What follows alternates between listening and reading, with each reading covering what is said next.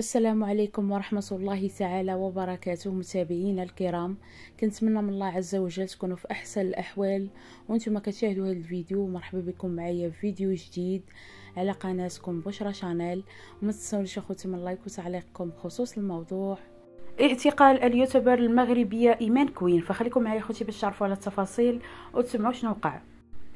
فكيف ما كتعرفوا أخوتي بلي اليوتيوبر المغربيه إيمان كوين كتمر بفترة صعيبة وشفنا التدوينه اللي نزلت على الحساب ديالها عبر موقع التواصل الاجتماعي إنستغرام واللي خلقت ضجة كبيرة واللي كانت قالت فيها أنا إيمان أوبلان أم لثلاثة أطفال أميرة أحمد وأمين.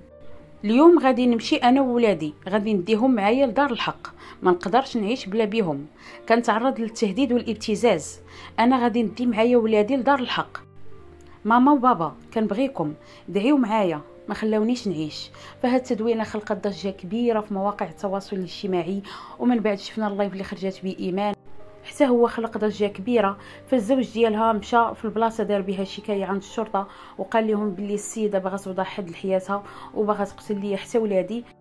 فهذا الشيء خلى الشرطة أنها تبدأ البحث وتقلب عليها فيما كانت فاليوم تم اعتقال اليوتيوبر المغربية إيمان فعلى حسب الموقع الإعلامي اللي نزل هذا الخبر كيقول عاجل ومباشرة من الدار البيضاء اعتقال المؤثرة الشهيرة إيمان كوين واللي دارت قصة طلاقها مع راجلها ضجة واسعة بمواقع التواصل الاجتماعي. لا حول ولا قوة إلا بالله العلي العظيم. فكيف ما سمعتوا خوتي بلي إيمان تعتقلات آه، من بعد ما دارت هذاك ال live ونزلت هذيك التدوينة على الحساب ديالها وكيقولوا بلي القضية دخلوا فيها الجمعيات فالله يدير لها مسكينة والديال الخير. صراحة بقات فيا بزاف والله العظيم فالله يكون معاها والله يدير لها مسكينة سوين ديال الخير. فكنتظر اخوتي تعليقاتكم بخصوص هذا الموضوع. شكرا على حسن المتابعة إلى فيديو قادم إن شاء الله. مع السلامة.